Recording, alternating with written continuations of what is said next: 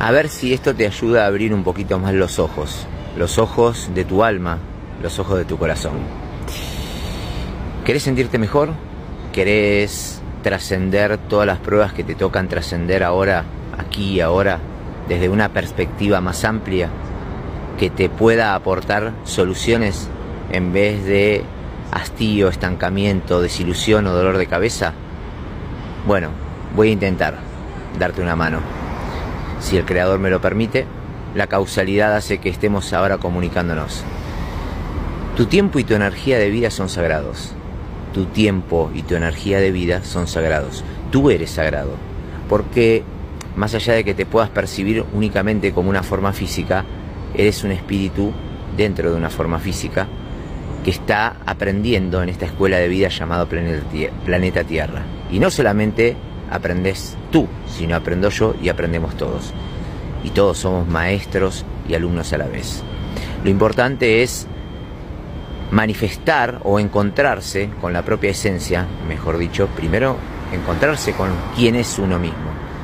Somos amor manifestado, aunque todavía no hayamos logrado manifestar en plenitud todo eso que somos.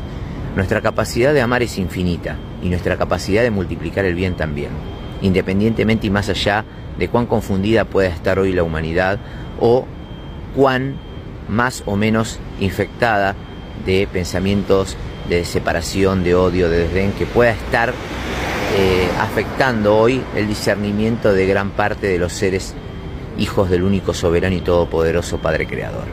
Entonces, algunos, algunas cosas que te pueden ayudar es, primero, comenzar con la humildad. Comprender que nadie te debe nada ni que tú le debes algo a alguien. Que todo es amor y luz y cuando hay amor y luz se da todo sin esperar nada a cambio.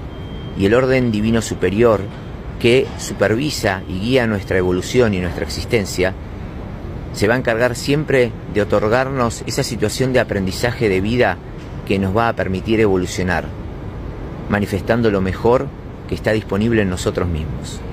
Entonces, desde la humildad, desde el entendimiento y la aceptación de que nadie nos debe nada y que no somos mejor que nadie ni peor que nadie, somos diferentes. En la diferencia encontramos el complemento, además del aprendizaje y la oportunidad de servir y ser útil a los demás.